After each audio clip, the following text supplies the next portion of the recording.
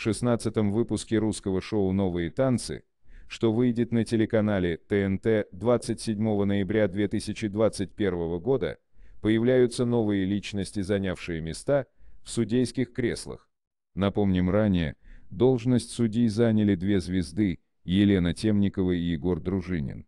Им пришлось посмотреть сюжет, где Шуля и Шпиль сумели продемонстрировать невероятные способности в танцах, они заинтересовали публику, за которых проголосовало большое количество болельщиков. Второе место отдали красавице Дарине Аробий, кто в подражательном выступлении показала все способности, чем заслужила овации. Касаемо выступления Сагдиана Хазмина и Дмитрия Васина, их дуэт показался весьма актуальным к современному отношению людей и природы. Ребята действительно продемонстрировали способности, чем стали популярными. Тужилина не смогла показать внутреннее рвение к танцам, чем спровоцировала к себе бурю эмоций и негатива. Благодаря этому Гео покидает проект всего за несколько эпизодов до финальной стадии.